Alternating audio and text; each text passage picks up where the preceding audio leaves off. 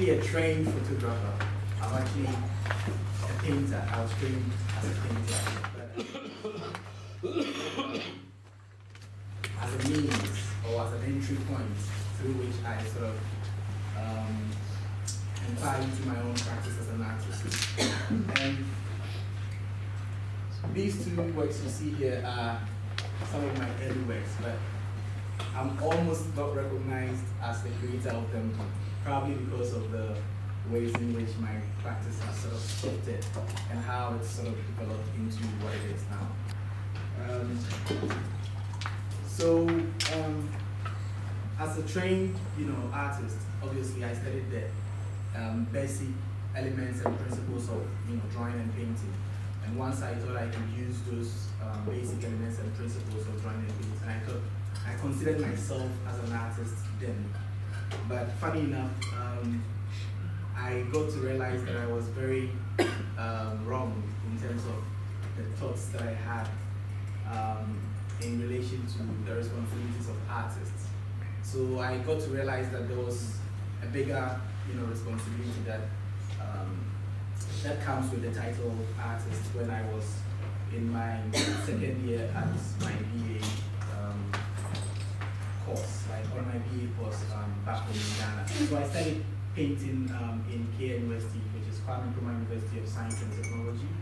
And when I got to my second year, I was sort of challenged by my professors to um, go out there and try to find a voice. But when I discovered the early works, this style, which is something that I came about with, like in terms of the sketching, filling in some gaps and trying to create presentations that sort of like um, broke the boundaries of foregrounds and backgrounds. And so with this, I felt like I had discovered myself. But when I was put to that challenge, I was like, okay, then if this is another challenge, because I'm, I'm, I'm a person who really likes challenge. So I thought I'll put this aside for a while and then get into my um, interest in going outside there to sort of find a new voice and see what you know the potential would be. So um, I quickly went to town to marketplaces, um, started interviewing people, um, market women, um, hawkers on the streets, um, hustlers, drug addicts, um, you know, uh, people who were in offices, you know, doing all sorts of things. So I, I raided into every space trying to understand why people did what they did. And one thing that was very much interesting for me as these um, materials on the side of the road. So this is like the Ghanaian calendars. Um, they are very, very fascinating in terms of how they are sort of presented. Um, and they have shifted from the conventional calendars that we know of, which represents days and times, into just materials that sort of have on them documented images. And so for me, it, it was very much interesting because I would see it in every space that I went into. So from offices to um, institutions to um, schools, hospitals, people's private people's bedrooms, uh, people's stores and kiosks. So I questioned myself why they kept all those calendars. And the fact about the calendars is that the moment you enter into a space, you would see um, the affiliation of the person who is the owner of the space. So say you go into a church, you would see um, a calendar of Jesus Christ and um, you know all the saints and stuff like that.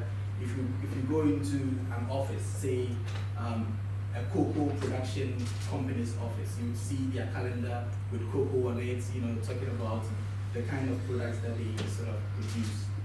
If you go into say um, people's private homes, you would see their political affiliations, and also you would see their um, economic status, and all these things like sort of represented in the calendars that they keep.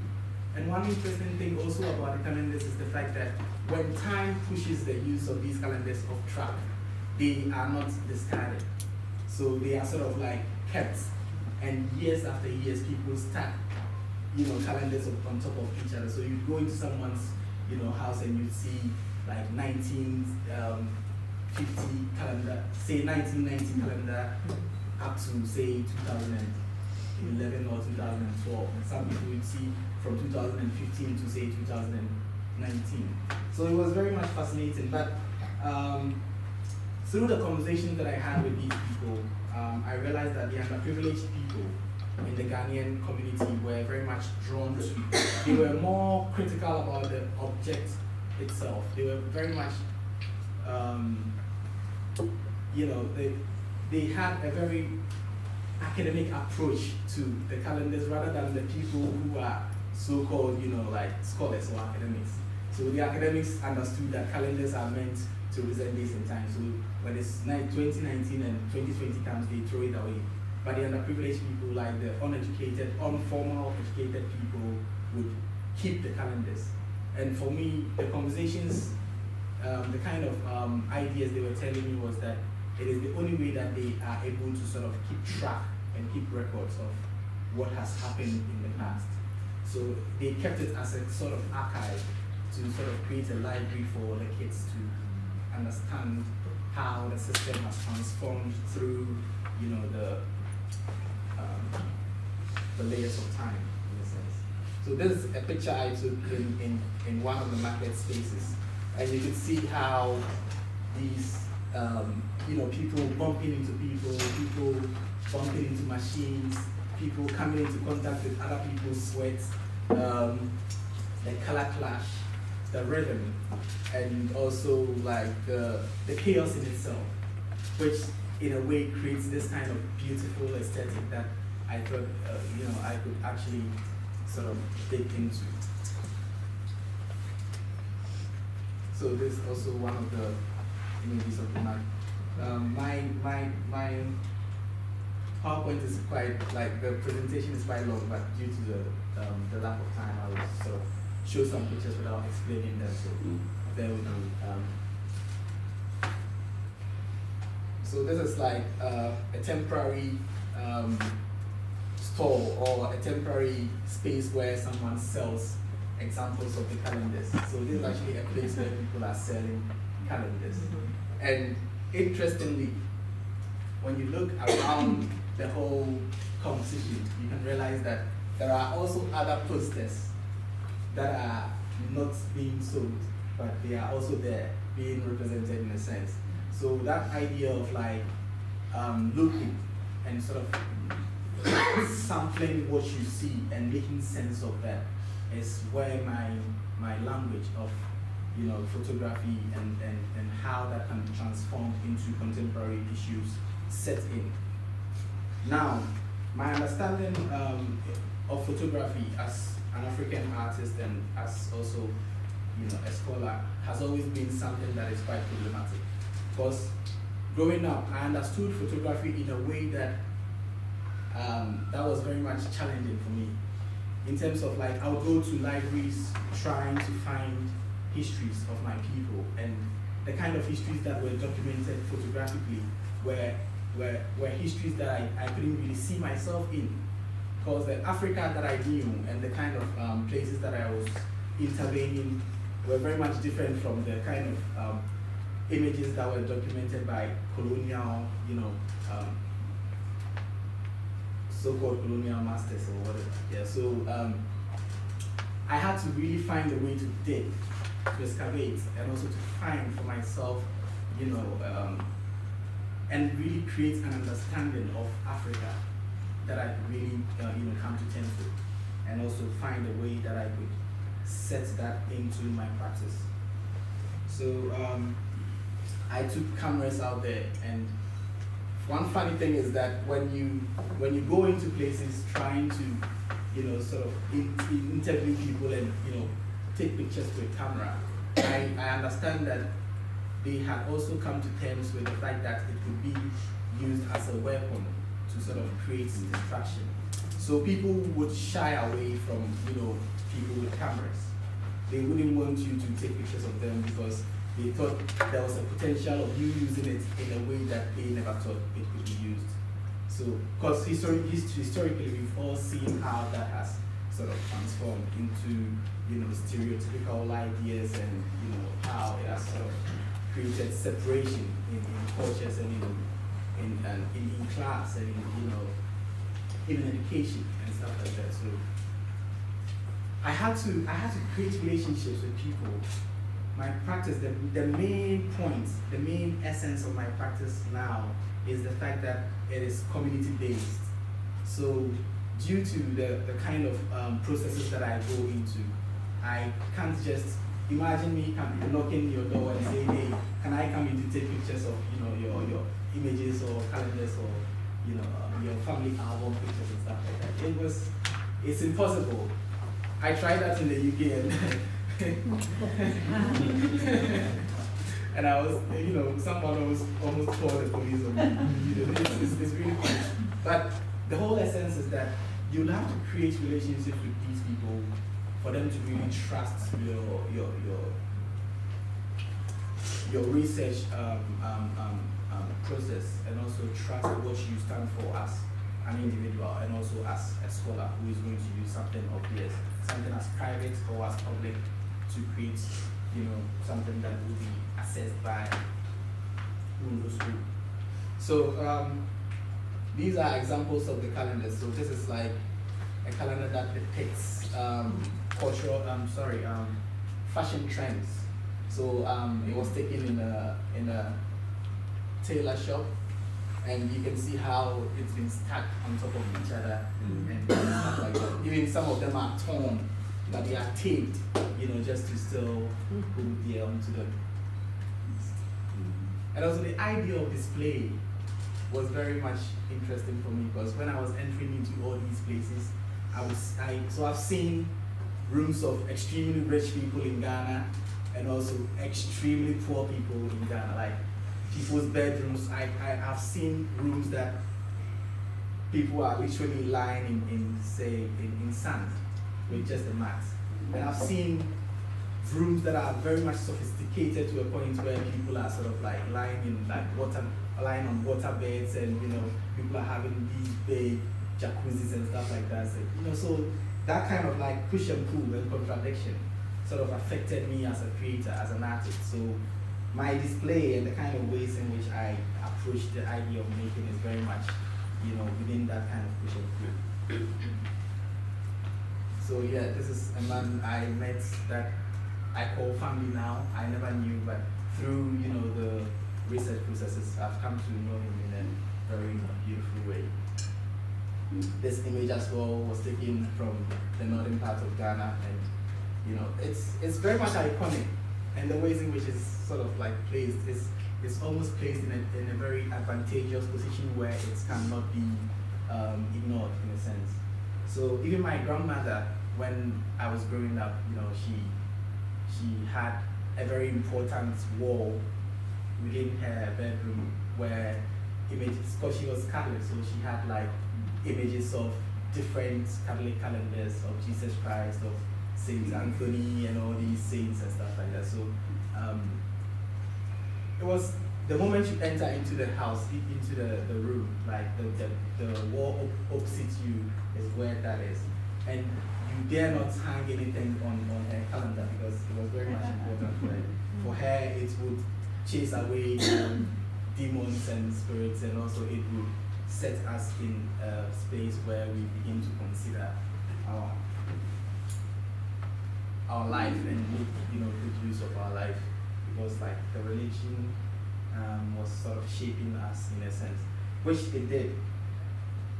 It's also a different type of calendar that um, depicts trends in hairstyles and hair designs.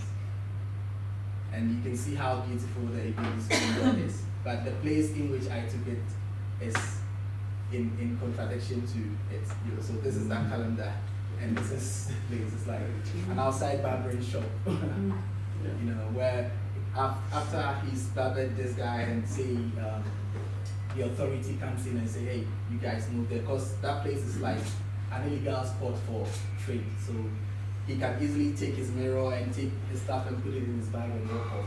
You know, and when he gets to a place where peace is he can set up again and you know start barbering again. So that idea of also you know making quick gestures, sorry, quick gestures just to you know survive, you know modes of survival also is something that I look at um, through photography and through my practice as an artist.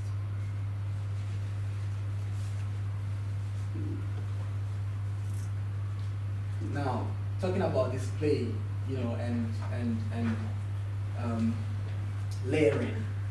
Um, when I when I realized how things were sort of juxtaposed and superimposed and layered, and the kind of flashes and the kind of beauty that he emerged out of that, I I was I was very much aware that I could there was no way that I could really translate my ideas as an artist without having to um, borrow the concept of collage because it was very much evident in all the spaces that I had grown up in. Even in terms of that Ghana that I came out of or that I am in. You know, that Ghana in itself is a collage.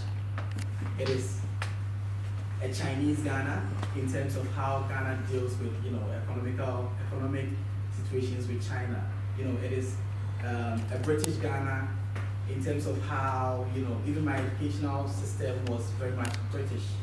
Um, I studied um, with, I studied um, arts from the reverse. So my art history was like a Western history before I even got to understand, you know, the African art history in a sense. So like, you can really tell where I'm coming from. And also, um, it is an American Ghana in terms of how the youngsters sort of um, borrow um, the gangs, the gang cultures in America, and also like even the hip hop dressing and stuff like that. So yeah, it's not really the Ghana that was documented in all those historical archives that I was seeing. I realized that it was actually connected to all the periphery, all parts of you know the world. And so this is also another store where they braid hairs and yeah, these are all parts of the calendars. They have no dates on them, but yeah, they are calendars. And walking in town also comes with surprises. yeah, so there are times that you know you, you, you, you chance upon things that are not very much in line with what you are doing, but you you can't. it, it, it creates an image that you can't really do away with, so you have to sort of have it with you. And this is one of them. Um, I have many of them, but yeah, this is one image that sat with me for a long time, and I thought it was very much interesting in terms of the composition in itself, and the conversations I had with these people were very much enlightening. So fast forward, um, I come back to my studio. I have all these um, huge collection of um, image archives, and I have nothing to do with them. So I started printing them out because there is this thing that you know soft um, and hard copies also does to you. Like when you are looking at image from a screen, it's very much different from mm. holding it in your hands and like gazing at it. So I thought it was a, it was very important that I print them out. And when I printed them out, you know, the idea of uh, collage setting. So there's like an early studies I did with some of the images I collected. At that time, Osama had been killed, um, and you know, there were calendars produced, um, Gaddafi as well, you know, and all these things were going on. So I, I decided to create some kind of, you know, um, contradictory um, um, compositions that um, spark conversations basically. So there's actually a very iconic um, pose of Jesus Christ, you know, like with his hands on his chest, pointing to the hat, and then you know one hand um, pointing at the top, and then I, you know, sort of put Osama bin Laden's face in there just to sort of see how that um, kind of friction it would create. But I thought that it was very much important that I really dig deep into the idea of collaging. So I, um, this, um, I started a series called A Collective Consciousness of Space and Time. And at that time, I was very much interested in like bringing all these sampled cultures and all these sampled histories and experiences of people that I had no connection with um, into my work and, and also put myself within those works to see how that really works how that. So these are some of the early works that I made.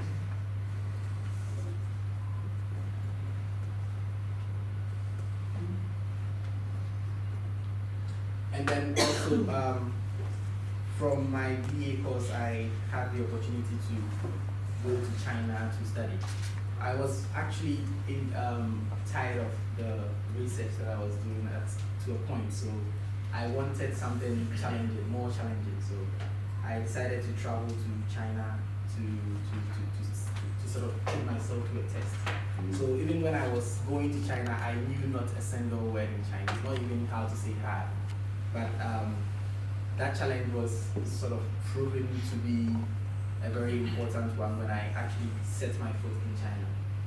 You know, the ways in which I had to um, also put myself in the position of like some of the um, street hawkers in Ghana, like just to survive in a different land was a very much interesting thing for me because I had to even um, develop ways to speak or communicate with people without having to use words.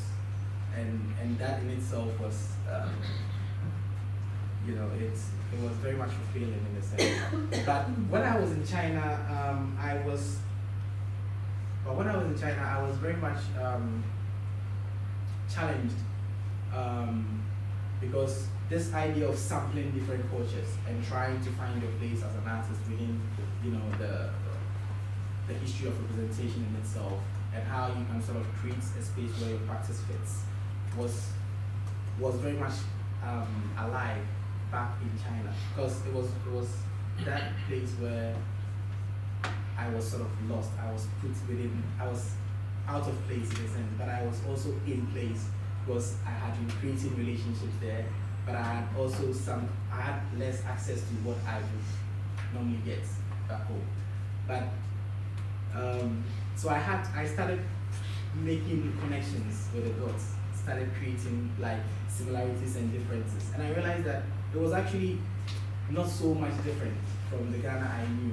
Because when I was going to China, my cousins were even telling me that, oh, by the time you are back, you'll be, you'll be very much good in karate and stuff like that. So I, you know, but it was when I went there, I never even saw anyone. I traveled a lot when I was China, but I never even saw a friend who knew how to, you know, the martial art. Mm-hmm. And it was interesting in terms of how back home films and photography had created this stereotypes about about China. So this, I, I think there is a need that you know every, every one of us in this room go back with um, an understanding that one has to excavate and one has to try to find for him or herself truth about what is already historically documented.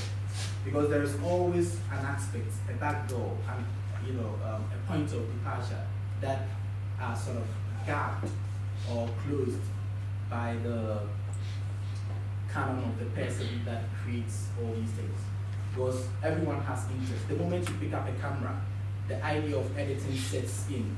You know, I can take a, a, a, a picture and try to capture this room, but I would focus on something. That thing that I focus on is not the absolute truth about the whole space. I can photograph this part of the room, but there are other parts, other people in the same room, you know, that I might leave out. And even if I don't leave out and I photograph them as well, they are not within the first image that I took. And therefore, if anyone comes to that image and tries to interrogate that image or try to find the truth in it, there is a part that is lost. And so that we all have a baggage to sort of like go back and excavate and try to find truth and understanding for ourselves. So yeah, that would be my the end of my presentation. But I would like to skip through to to show you the kind of works that came out of the images that I sampled. And I love, I love the idea of scale. So all my works are huge, like 1.2 meters by 2 meters. You know, they are not small scale because scale is not, it's not, um, for me it is considered a material. It, it, it creates a huge impact in whatever you create. You know, even in terms of the kind of energy you put into the work that you do, and uh, also the kind of um, statement or the language it presents to the audience in a sense.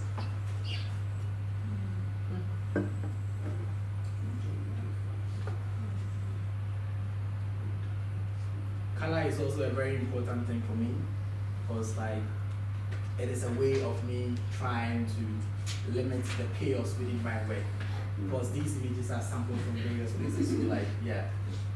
Um, yeah, I'll just skip through the images and show you some of the works that created. There are, you know, stories obviously to the works, but like due to the lack of time, I won't, I won't be able to explain. These are archives that I dig into from the British um, Museum's archives and you know the British Library archives to talk about the history of you know the rainbow generations in the UK and the kind of relationship and how my understanding and my place within the UK also sets in. But yeah, I will, I will, I will skip through. Thank you.